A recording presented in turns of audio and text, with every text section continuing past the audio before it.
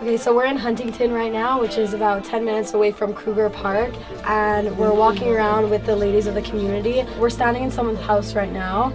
Um, it's a very small place. Uh, there's not a lot of space. They don't have beds. They don't have closets.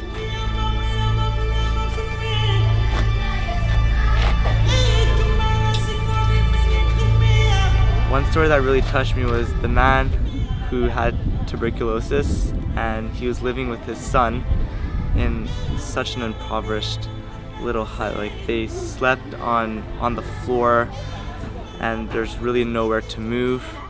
What are your hopes for the future? I want to be a doctor.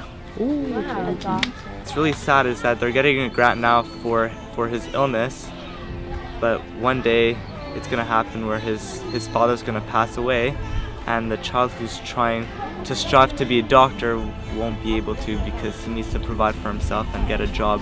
So was, I was really touched by that story and it really made me put life in perspective.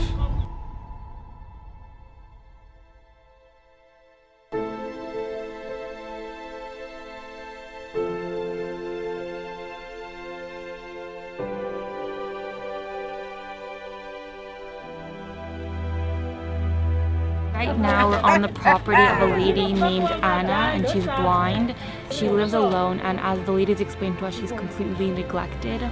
And her grandchildren live right next door to her, except that they don't do anything to help her. And I just find it so heartbreaking to see this. Because at home, number one, she would have so many services that are provided for her. And also just think of myself and my and my grandparents, and if anything were to happen to them, I don't get how the grandchildren could just sit right there and watch and not do anything to help.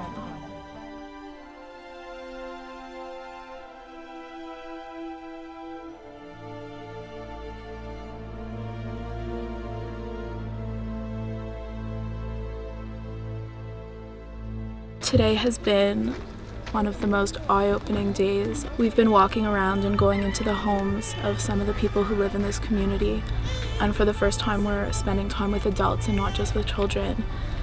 Um, and the house that we just visited, the people who are who are guiding us along told us that these are the lucky ones because they have families and they have two homes and they have a lot and it's just really eye-opening to look at these houses and to say that these are the lucky ones when we come from so much.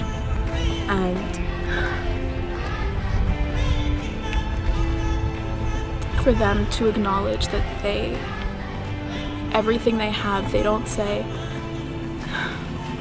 they don't say we have nothing. They say look how lucky they are they have so much and I think that we're so used to only thinking about what we don't have and they have such an appreciation for everything that they do have. And it's just it's very beautiful.